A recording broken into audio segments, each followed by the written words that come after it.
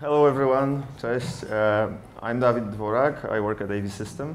Uh, I'll have the pleasure to talk about uh, our experiences with using Scala.js on production, uh, namely about UDash framework uh, as it approaches the first stable release. Uh, a little bit about me. Um, I've been working with Scala for four years now. Um, I have been fortunate enough to have Scala as my first language. So when I first started working, we were already using Scala and it stuck, so that was nice.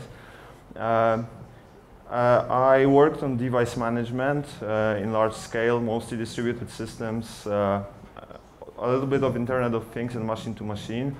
Uh, I also worked at Google on mobile location, and now I'm working on, I'm leading the monitoring team at AVSystem. We're doing Kafka streams, so we can cl clearly say that I'm not the right person to talk about frontend. But that, that, makes me the best person to lead this framework, and I'm going to tell you why. Um, so, uh, why did we actually want to use uh, a single language for doing web application? Uh, to understand this, you have to know that uh, around five years ago, most of our web applications in AVSystem uh, were done using Vaadin. For those of you who know Vaadin, uh, it is a great framework for quick prototyping when you want to have a seamless experience with just Java. Uh, so as long as your um, web applications are very simple, you only have vertical, horizontal layouts, grid layouts, buttons, forms, stuff like that. Uh, you can really just uh, do it swing style and uh, present the data to your users and you're gonna be fine. But at some point, uh, we understood that uh, we cannot move forward with that. Uh, we needed to interact with JavaScript libraries. We needed to do responsive web design. Uh, we needed uh, to do reactive web design. And uh, because of that, we still wanted to keep the properties that we have we had from using a single language, whether it was Java or Scala. so we really wanted to have shared data model which can be a blessing and a curse when you're doing a web application because uh, it's very easy to uh, shoot DB calls from button listeners, which we did in Vaadin and it was bad. it wasn't testable. Uh, so we wanted to do it better, but we still wanted to share some data and share some code, um, namely the parts of the application logic that are cross-cutting concerns, uh, some validation, authentication, permissions, um, stuff like that. And we wanted to make sure at compile time that our protocols between the backend and the frontend are, were compatible. Uh, so that was something that we had uh, out of the box with Vaadin. Uh, and uh, since most of our developers were backend Scala developers, uh, we wanted uh, both front-end and backend developers to still be very flexible and be able to contribute both and understand both the front-end and backend code. Um, so we thought using a single language is great. So we were not the first to think about that. Uh, JS, right? Right? but that's probably not the best way to do it, uh, as it turned out. Um, because obviously JavaScript is not that great when you think about it. The, uh, weird things can happen, and that was something that we really didn't want to have in our code. Uh, so we've decided that we need a typed language, right? So how about TypeScript, right? TypeScript is a great language for front-end development, but uh, it wasn't uh, strongly typed enough for us. Um, the types were optional, and even the issue that we've seen on the previous slide uh, wouldn't be solved by using TypeScript. We could more easily debug this because we would know from the type of the callback that this was not exactly what we wanted to do. Uh, but obviously there are better languages to run your backend on than Node.js, right? I guess you guys can think of some JVM languages that, that you like more, or Rust, or whatever. Anything is better than JS on the backend, right? Um, so we decided that we want to go with the language that, that we really know, that we understand, uh, with the IDE that we know, with, the, with a single seamless experience. And for us, that was Scala. So what we did, we, we, we typed Scala.js into, into the browser, and we found out that there is something like that. Uh, so for how many of you have used Scala.js? Great. I'm not going to bore you to death. okay, a quick primer on Scala.js. Scala.js allows you to compile your Scala code to JavaScript. And this is not a subset of the language. It's any Scala code can compile to JavaScript with this. Um, this is a Scala compiler plugin. You generate some additional files that are needed for this. Um, and there, there's, there's a whole ecosystem coming with it. Uh, first and foremost, there's a linker and optimizer, um, which uh, transform the JS the Scala files into JS files and then optimize the output. There's an, the most common way to integrate with Scala.js is via SBT plugin, but if you use other build tools, then you can also do that. Um, the coolest thing about Scala.js is it has incremental compilation support. Otherwise, it wouldn't be really possible to uh, implement frontend with it. You wouldn't want your frontend to take as long to, com uh, to compile as your backend does, right, in Scala. Uh, so if you just modified a few lines uh, and you want to have a quick feedback loop, it's fine. Scala.js is going to compile that in one to two seconds. So it is enough, and you can run it continuously in, uh, in SBT. It will detect changes and compile in the background whenever you change something. So, so it's pretty great uh, for developer experience. All the pure Scala libraries work out of the box. You can compile anything as long as it's cross-compilable. Uh, parts of, uh, of the Java standard library don't work, obviously. The file access, JNI, you cannot do that in, uh, in JavaScript. Uh, and also there's uh, everything from Java standard library has to be re-implemented for Scala.js. and that's an ongoing process. There are obviously some licensing issues with Oracle. Uh, so if you do as much as look at OpenJDK code, you cannot really implement uh, Java library for Scala, but uh, people do that, and uh, the the parts that are mostly missing are are probably date formats, and people work around that in with some Scala libraries. But other than that, it's pretty great. Um, you can interact with native JavaScript libraries either dynamically uh, like you would write uh, untyped uh, JavaScript, or you can use typed wrappers. And you can also expose the code you wrote in Scala to uh, JavaScript users uh, via global exports or JS modules.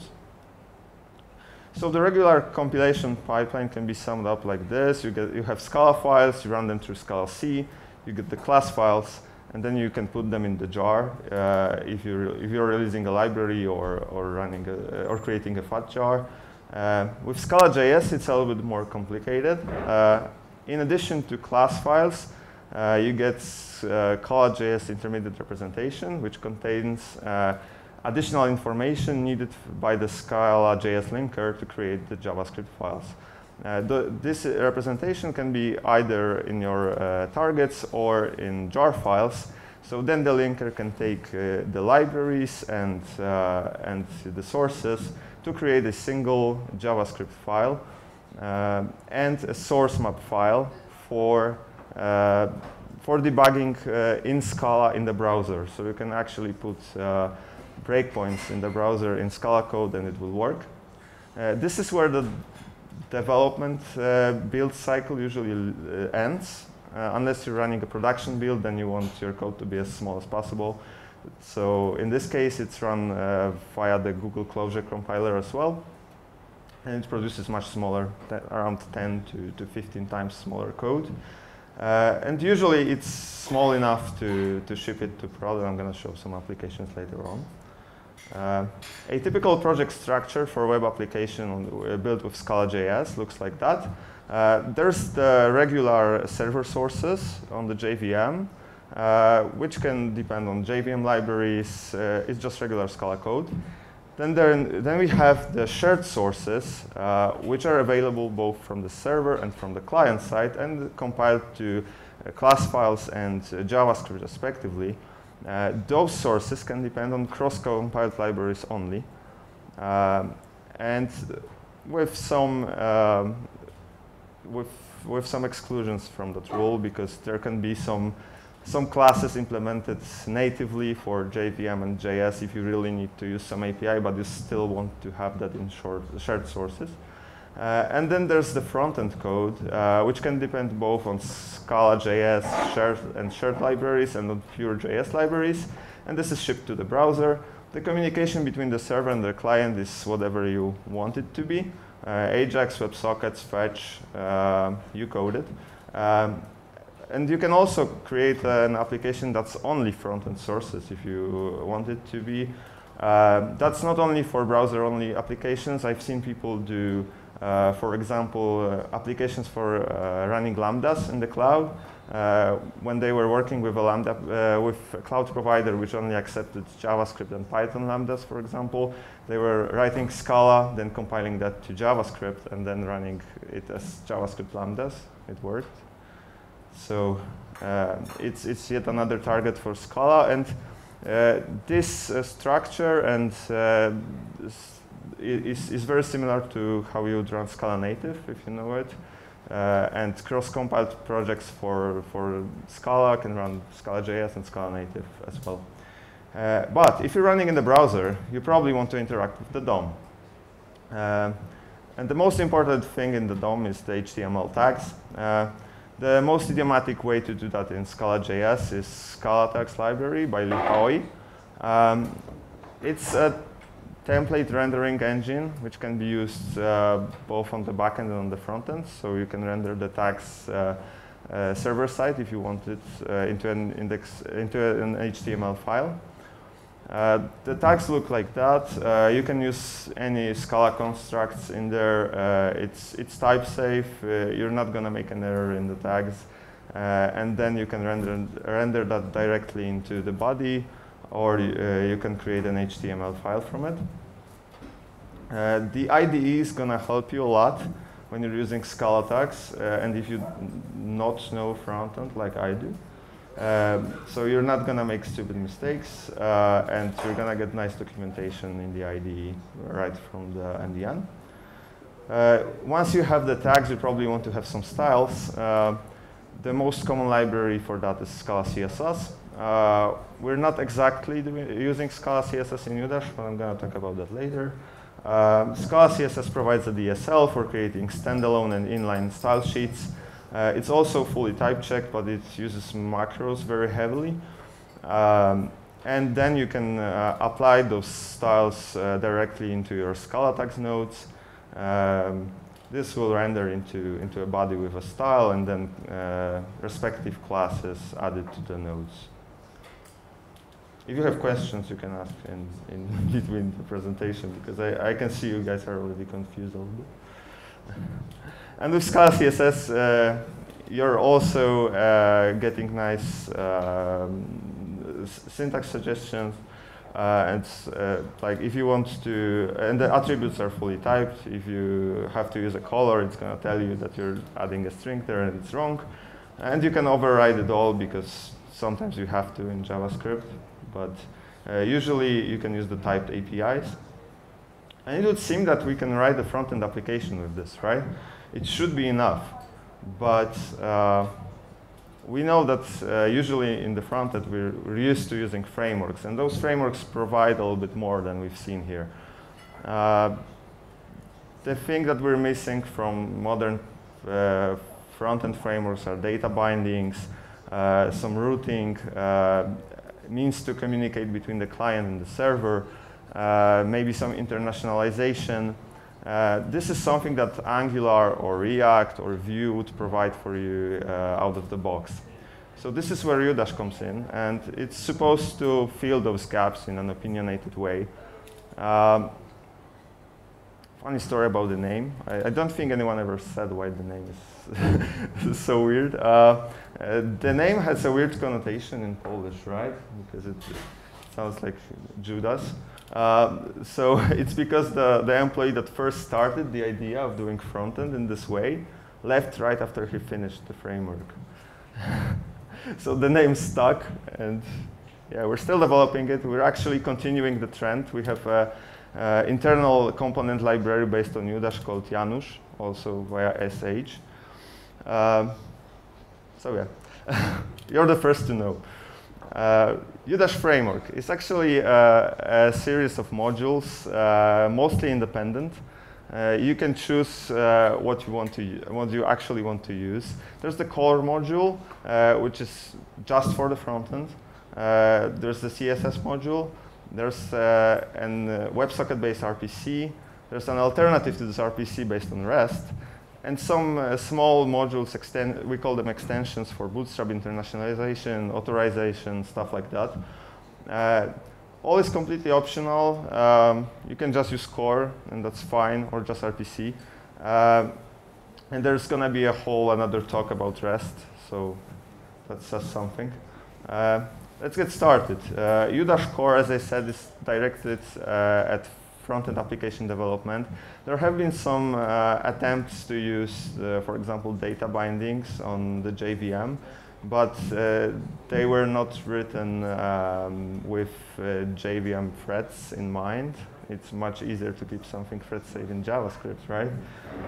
Uh, and uh, its goal is to allow for typeful web development. So everything is covered in types, and you don't have to worry about JavaScript anymore. Uh, whatever is async, we try to keep it async.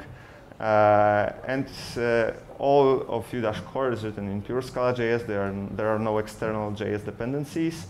Uh, it supports uh, an architectural pattern similar to Model View Presenter, but it doesn't really influence you too much, so you can run MVC, MVVM, or put everything in a single class and it's still gonna work. So that's, that's fine, but it helps if you really want to structure your application. Uh, starting with the first and most common mechanism, properties. Uh, these are used for data bindings. Uh, properties let you modify um, parts of your model. And there are different kinds of properties available, simple properties, model properties, which have sub-properties, sub-sequences, and submodels. And uh, there are sequence properties which accept patches, so we can replace something in the middle. Uh, and those properties uh, can be based on traits or classes or whatever you like. They're obviously inherently mutable, uh, but you want to mutate, so that's fine. Uh, a simple example would be like you would see in AngularJS. Two-way binding between an input and, uh, and the text node. Whatever you write here is going to change in the text. And it's pretty simple to do. Uh, so you can, you can nest your, uh, your models however you like. Uh, and we're doing a little bit of macros to allow for that, uh, but we're trying to restrict it as much as possible. Uh, those bindings, allow for transformations, not only listening and, and binding. You can, uh, as you can see here, uh, the sequence of doubles it, is transformed to a sequence of integers. A reverse transformation is also provided, so the int sequence is still immutable. Uh, if you change something in the int sequence, it's going to change the, the underlying double. Um, the ints can be filtered as well, as you can see. Uh, there's a lot more uh, other utils if you need them. Uh, and this pattern is obviously known from other libraries as uh, reactive variables, uh, reactive data bindings. Uh, and uh, it allows us to only re-render the parts of the DOM that we really need to re-render. We can bind only to a small uh, part of the model, and we're not gonna re-render all, all the web page every time something changes. So the next mechanism is routing. Uh, routing is based either on URL path or fragment. Fragment is the thing after the hash. Um, it resolves the application state from the URL. So you can, you can think of the state as, as, the, as a database query, anything you need to recreate the view. Uh, and then uh, from the state, it resolves uh, corresponding view and presenter. You can decide whether the view and presenter will be recreated or whether you can reuse some of those that you had already. Um, and this is an example of, of such a routing. Uh, you can see that we're using a macro here, bidirectional. Uh, this is one of the things that I'm going to show from another uh, AVSystem library, the Scala Commons. Uh, the bidirectional macro basically swaps the side of sides of the of the pattern match. So uh, you get two partial functions. uh, from it to, to have bidirectional binding. And you can imagine that using apply and unapply, you can add some crazy things to this. It can do like uh, URL encoding or, or some marshalling inside here. Uh, if, you, uh, if you're interested, uh, I really recommend checking the Scala Commons library. If you're doing macros, serialization, RPCs, if you need a really fast Redis client or, or are using Spring, then there's definitely something for you. Uh, I think of Scala Commons a little bit less as I think about Finagle. Like Twitter doesn't really advertise it that much, but there are a lot of production-ready libraries there. And it's the same for Scala Commons. We use it in, in all our products. And a lot of Udash is based on whatever is there. And about the MVP part, um, the, the, as I said, it's not very, it doesn't have very strict requirements. Uh, the view only has to create a template to render, uh, and the presenter has to be able to handle uh, application state changes. So you could pack that into, into, a single class if you like, and, and then have uh, a single component, or you could you can blow it into as many classes as you, as you like. And there's the view factory, which decides whether we have to create a new view and presenter. Um, internally, we don't really use the, the, more known MVP passive view mode, where the presenter is uh, handling all the communication between the model and the view. Uh, we're using the supervising controller version, where the view interacts with the model via data bindings, and those are our properties. Uh, we try to use the data bindings as much as we can. Uh, and the presenter is more for business logic and handling the communication with the server. Uh, if, and obviously, we're using this uh, structure to enable uh, testing those components. And testing is very much possible in Scala.js. You can use Scala test, you can use Scala mock, you can use Scala check, whatever you like, and then run those tests either in Node.js, uh, which is fine, but then the interactions with the DOM are harder. Uh, or you can use Scala.js and Selenium. Um, and this project allows you to reuse the Selenium WebDriver and then run your tests in whatever browser you like. Uh, this also works in Travis, and we're using it for, for testing Udash. Udash RPC, the second module, um, I think the most used one. Um, it is uh, a client-server communication system which uh, works uh, bidirectionally, so you can send calls from the server to the client, from the client to the server. Via WebSockets. All the communications are asynchronous uh, and they return futures. Um, the protocol is based on shared uh, code traits. Uh, and then the uh, client and the server is uh, generated by macros. Um, all the correctness in, this, in those traits is verified in compile time. Uh, so you're not going to have any errors, including the serialization part. Uh, the usage is very simple for the for the calling side. It's just a method called and it, and it returns a future. Uh, actually, the whole Udash RPC is based on an RPC framework from Scala Commons, which allows you to create any framework, not just WebSocket and Future framework, but you can you can customize as much as you like. Um, and uh, yeah, already said about WebSockets. That's how an uh, Udash RPC interface looks. Um, an RPC can uh, have three types of methods. Uh, it can return another RPC, which doesn't fire anything. Uh, it can return a future, which uh, means that there's going to be a call to the server side or the client side. Uh, and uh, it can return unit, which means this is a fire and forget call, and we shouldn't expect, expect a response.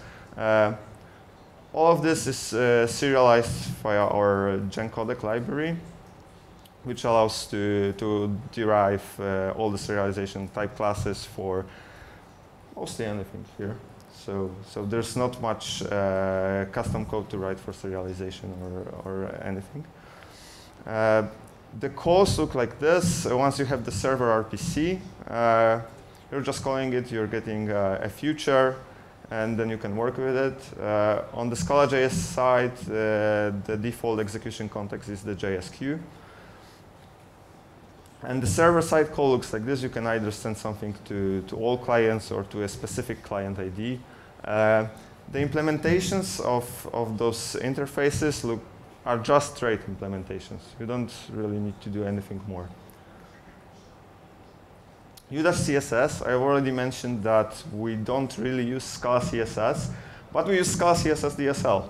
Uh, we just don't like the code generated by the macros uh, because it's really huge and basically Scala CSS generates J Scala code which then generates CSS on the front end which increases the JS size greatly and then uh, in addition to the fact that the JavaScript file is large, the initial uh, render is much uh, takes much more time than it would if it was a separate CSS file. After all, browsers are used to having uh, separate CSS files.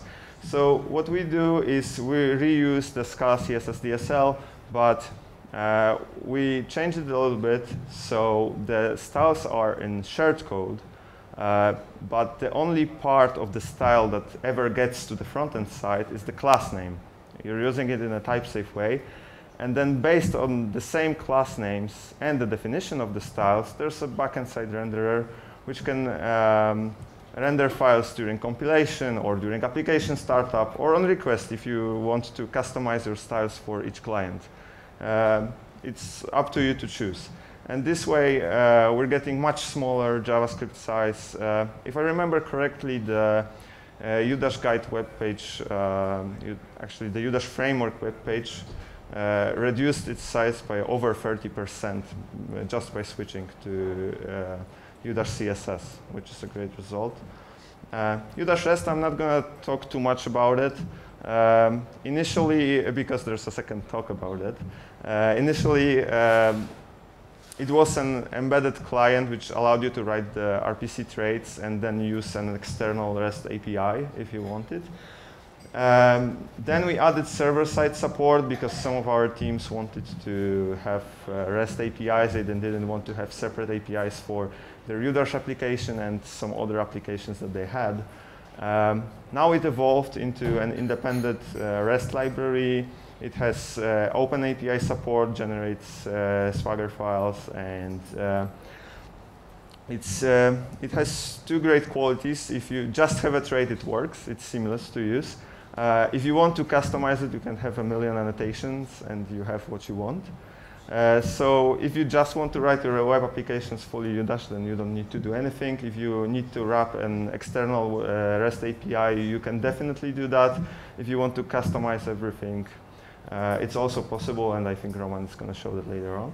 Um, and now moving on to the extension modules, UDash Bootstrap, that's something that uh, I think external library users use the most. Uh, it's a thin wrapper over Twitter Bootstrap, and it allows to use Bootstrap components uh, in a way that resembles Swing, I guess.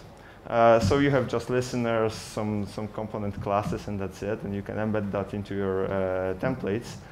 Uh, uh and this, this simple component where you push the button, something gets randomly disabled. If you click something, it's appended to the list.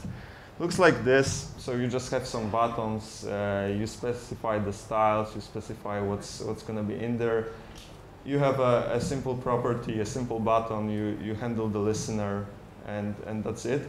And the whole template is just, uh, just the last four lines. So I'm going to say it's, it's pretty easy to use. I use it a lot in, in my personal projects, uh, even though internally we have our own component library written purely in Scala. Uh, but that's something that uh, we want to publish later on. Once we agree on the API, it's always a problem. Uh, another module, uh, UDash internationalization. Uh, it allows to define um, the translation keys in the shared code. They have type safe parameters. You can see that there is key with a single argument, uh, which is an integer. Uh, then you can use your uh, good old Java resource bundles if you want, or you can use a front-end translation module. And uh, those translations will be cached in the local storage. It will be fetched from the backend. It will handle different locales. And you can just bind them using the translated binding, uh, as you can see here, providing your arguments uh, on runtime. Other UDash extensions, which I'm not going to talk too much about, uh, is the Highcharts wrapper, which uh, allows you to, to use Highcharts in Scala. Uh, same for jQuery. Uh, there are a few other jQuery wrappers than ours, but I like ours the most. there's a user activity module which enables tracking uh, user navigation through the app and, uh, and what calls are made to the backend. Uh, there's a Udash authorization module, which I can actually show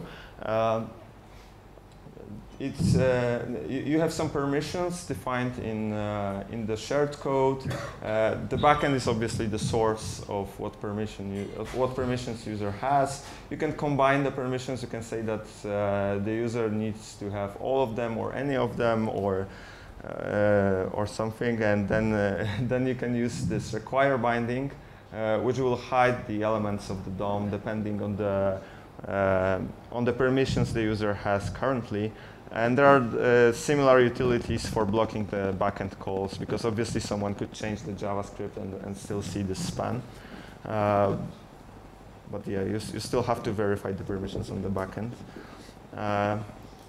Uh, now I'm going to show you a few of the Udash applications that we've developed for our customers uh, over the time.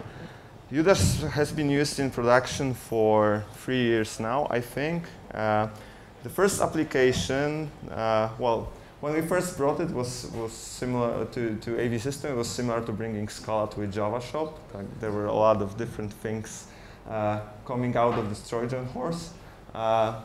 In our case, it, it wasn't final tagless, fortunately, but uh, but there were a lot of other Scala things, and we are not bringing it to Java shop, but to, to the JavaScript side, which was even more uh, even more of a contrast.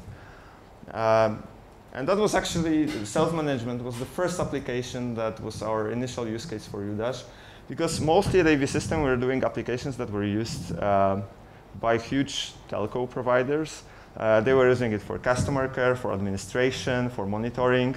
And there weren't that many users. They were using them on, on strong PCs. We didn't have to care about the application size, about responsiveness, uh, about anything, actually. So Vaadin was great. Uh, but for self-management, our client wanted to use parts of our device management application and expose them to the end user. So whenever internet was down, they would enter it and they would enter it on the phone. So this had to scale a little bit. Uh, since it was our first application, maybe not the most beautiful, but this is the application written in Udash 0.1. Uh, we've obviously updated it since then, but uh, and that's how it looks on the phone. So, so we kind of managed. Uh, it was 2015, I think. Uh, so that's how responsive web design looked done. Uh, the application is 9k lines of code. Uh, this uh, to one and a half megabyte of JS and one and three megabytes of JavaScript dependencies. Um, could be better. We're now restricting JavaScript dependencies as much as we can. Uh, but this was one of the one of the first apps, so we didn't really know what we are doing. Uh, the monitoring application is something that my team is currently working on, and this is something that the client uses to monitor lines in customer care and quickly respond to the fact that some of the services may be down. Um, this application has some search, list, um, it has uh, 12k lines of code. It compiles to 1.8 megabytes of JS and 700 kilobytes of JavaScript dependencies. Uh, it's gonna go down to around 400, I think, uh, once we get Atmosphere out, uh, which we're working on. Um, and there are also dashboards. Uh, all data is coming from the monitoring live. You can refresh the data. Um, there are also Highcharts in there. Um, and we also have a reporting module, which is a spoiler to another um, AVSystem library. Uh, here the report fields are defined uh, in runtime. Uh, and what the user defines is actually Scala code. This is our Scala expression evaluation engine. Think Spring expression language, if you know it, but 10 times faster. Uh, so the user uh, can use any Scala APIs that, that we expose to him. Uh, to define the fields, define the filters, and this is something that we use across AVSystem applications. And uh, Scala turned out to be a great language to do that. The user can just add two columns, then convert them to string, then map them, and it works fine. Uh, and if they can do it, uh, they pay us to do it, so it's okay, and we don't have to do much development. Uh, there's a link to this library, but I don't think it's very greatly documented yet, but I encourage, uh, encourage the author, who's going to talk later, uh, to, to promote it more. Uh, now moving on to, to the next app, the uh, Coiote IoT data orchestration. Uh, it's one of our flagship applications. Uh, the clients use it to, it pr and probably that's the biggest Udash application that we've ever shipped. Uh, the clients use it to integrate multiple data sources and then display the data about IoT devices on dashboards, on maps, on charts, uh, do some monitoring, uh, uh do asset inventory, uh, and there are also workflows based on the changes in, in that asset data. So all of the things that I'm showing you here, the dashboards, are completely customizable and, and, the user just drag and drops them on, on this dashboard. This is around 60k lines of code in, on the front end. Uh, that compiles to almost 4 megabytes of JavaScript and 1.5 megabytes of JavaScript dependencies. So we can see that compared to the, the previous uh, app, which was 12K uh, and, and 1.5 megabyte, it scales pretty well. Once you get all the Scala standard library into your JavaScript, then, then it's fine. Uh, and as I said, uh, you can drag and drop those dashboards. You can configure what data sources are there, what charts, uh, periods, everything. So, so this is all configured in runtime. And now the time has come for the most important application of today, the application that you can uh, create in five minutes right now or when you come home. Um, you can just uh, type SBT new dash framework with dash G8 and that's gonna run the Giter8 uh, template engine. Uh, which is included in SBT 01313, I think, and later. So we're probably using it for a year now or more. And this will spin up a chat application for you with permissions for reading and writing messages, with internationalization, uh, with a login page. So um, it's, it's a great uh, seed for web applications based on Udash. Uh, and if you want to see how, how a small application uh, built using the framework looks, that's, that's probably the way to go. Uh, this application is uh, over 1,000 lines of front-end code and composed to 600 kilobytes JavaScript. And obviously, uh, by using such a bleeding edge technology, uh, we had to expect issues. And the, the biggest source of issues for us was uh, obviously JavaScript and interacting with native JavaScript. Uh, when you're doing that using the dynamic interface, you can write anything in there, it's going to accept it. Uh, like you, can see there's a typo in the, in the call in here. Uh, this typo is still going to compile in JavaScript, and then you're going to have an error on runtime. And this is something that uh, you can avoid using the typed wrappers, which you may or may not have to write uh, if you're lucky. Uh, and then once you use a typed interface, you're safe uh, on compile time. Those typed interfaces can come from multiple sources. There are obviously some user-written facades, which are uh, more extensive than what we see here. And uh, actually, the Scala.js React facade is the most popular way, other than Udash, to write uh, Scala.js frontend, and a lot of companies use it. Uh, but there are also ways to easily generate such wrapper automatically from TypeScript wrappers. There's a tool to do that. Uh, there's actually the, a whole website, definitely Scala, which converted all DefinitelyTyped TypeScript, TypeScript wrappers to Scala.js wrappers. And there has uh, there's an, uh, the, the, scalably typed uh, repo is a new repository where someone uh, created a new importer from TypeScript and improved some things that were lacking in the in the definitely Scala uh, wrappers. Uh, so it's very promising. also, if you have to, you can easily write it. There's not that much code, and if you have documentation for, for the JS library, it's pretty easy. Uh, and once you have a typed wrapper, you're going to have a compile error, which is much better. Uh, the other problem that you could possibly expect is the JavaScript size. Uh, for Scala compiled to JavaScript, we use dead code elimination and works great. Uh, all the Scala standard library code, uh, Java standard library code is almost never shipped with the application. But obviously, uh, the DCE doesn't duplicate reachable code. If something is generated and can be called, then it's going to be in there. Uh, and there are a few possible sources of such code that you might eliminate. ScalaCSS was one of them, so we don't use it anymore. Uh, another issue that we had was with uh, Scala's object, uh, objects, because in some browsers, like Edge and Internet Explorer, who would have guessed, uh, were not properly initialized lazily. So if you had something in an object, then it would be initialized on app startup, and your application would never start. Uh, so that was pretty bad. Other than this, uh, Scala.js performance is on par with JavaScript. In worst cases, two times slower, which is not that bad.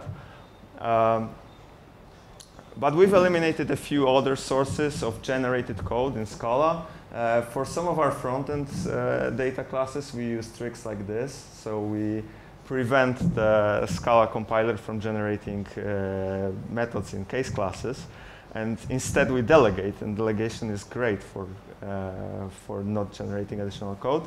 It doesn't work exactly the same as, as the original code, but it's, it's fine enough uh, for what we want to do with our data classes on the front end.